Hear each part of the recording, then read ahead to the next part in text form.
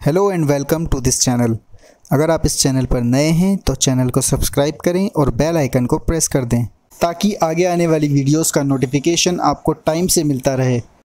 दोस्तों, आज की ये इन्फॉर्मेटिव वीडियो बेस्ड है माउंट एवरेस्ट पर। इस वीडियो में हम माउंट एवरेस्ट के बारे में डिस्कस करने वाले हैं। माउंट एवरेस्ट जैसा कि आप सभी को पता होगा वर्ल्ड की सबसे ऊँची या टॉलेस्ट माउंटेन पीक है या फिर पर्वत चोटी है। दुनिया में इससे ऊँची कोई और पर्वत या फिर माउंटेन नहीं है। जैसा कि आप इस मैप में देख सकते हैं कि माउंट एवरेस्ट भारत के पड़ोसी देश नेपाल में है।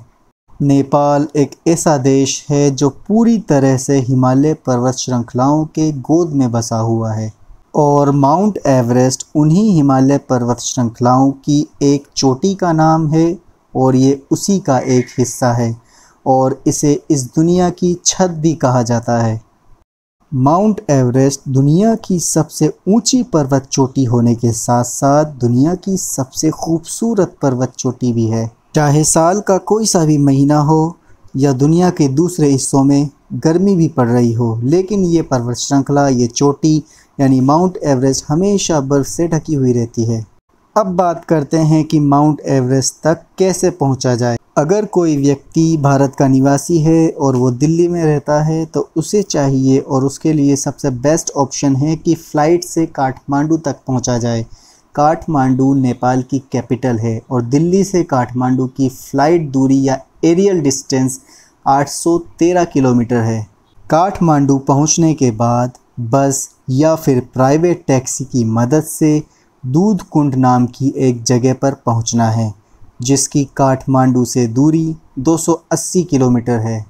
दूध कुंड पहुँचने के बाद माउंट एवरेस्ट के बेस की दूरी, यानी कि वो स्थान जहाँ से माउंट एवरेस्ट पर्वत शुरू होता है, उसकी दूरी लगभग 25 किलोमीटर रह जाती है। इसके बाद माउंट एवरेस्ट की चढ़ाई लगभग शुरू ही हो जाती है।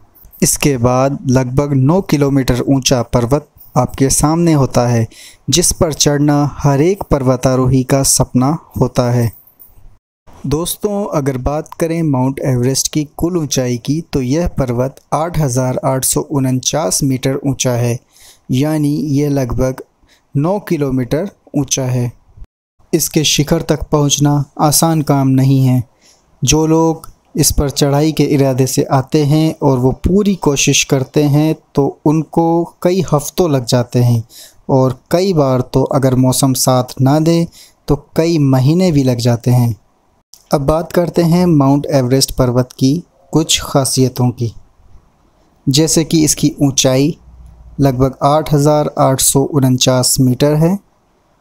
ये किस देश में स्थित है? तो ये नेपाल में स्थित है। जो कि भारत का पड़ोसी देश है, और ये किस पर्वत श्रृंखला के अंदर आता है? ये आता है हिमालय पर्वत श्रृंखलाओं में। दोस्तों 1922 से ही लोग माउंट एवरेस्ट पर चढ़ने की कोशिश कर रहे थे, लेकिन कभी कामयाब नहीं हुए। लेकिन पहली बार उन्नीस सौ तिरपन में एडमंड हिलेरी और टेंजिंग नोर्गे नाम के दो व्यक्तियों ने सफलतापूर्वक माउंट एवरेस्ट की चोटी पर अपने कदम रखे, और उस वक्त वो उनतीस हज़ार पैंतीस फीट की ऊंचाई पर थे। यह ऊंचाई समुद्र तल से उनतीस हज़ार पैंतीस फुट की ऊंचाई थी। ये थी कुछ रोचक जानकारी माउंट एवरेस्ट के बारे में। तो फ्रेंड्स, आज के लिए बस इतना ही। अगर आपको ये वीडियो पसंद आया हो तो वीडियो को लाइक करें, कमेंट करें, शेयर करें और अगर आप इस चैनल पर नए हैं तो चैनल को सब्सक्राइब कर दें और बेल आइकन को प्रेस कर दें, ताकि आगे आने वाली वीडियोस का नोटिफिकेशन आपको टाइम से मिल सके।